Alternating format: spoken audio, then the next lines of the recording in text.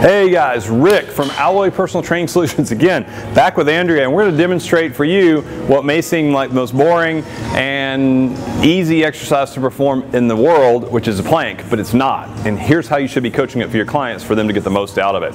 So, we'll demonstrate a regular plank on your toes. So Andrea, come up in your clothes. Now, from here, there's some, some little subtle cues that you can give clients that will make this exercise so much more effective. First of all, make sure the quads are completely tight. So have them, it's almost like they drive their shins towards the floor, and this sounds kind of weird, but then they're going to drive their quads back against their shins because I want this total tension all the way down the legs so the quads are tight.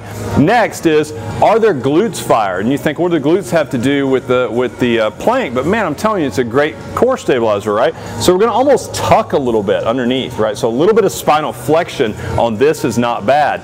Now, what's going on at the elbows? If we have our clients set up here, what I want you to cue them to do is to think about pulling their elbows towards their knees, keeping that strong posture, but let's create maximal tension on this by shoving our elbows down. So it's almost like we're pulling almost into the old school crunch position while everything else is super tense.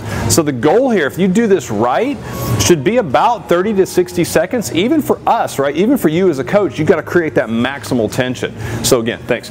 So that's just a basic but that's the way we should be coaching it to get the most out of it. You can sit there in this kind of broken down horse posture and hang out all day, or you can do the plank right and get the most out of it in 30 to 60 seconds. So coach it that way, enjoy it you guys, and we'll see you next time.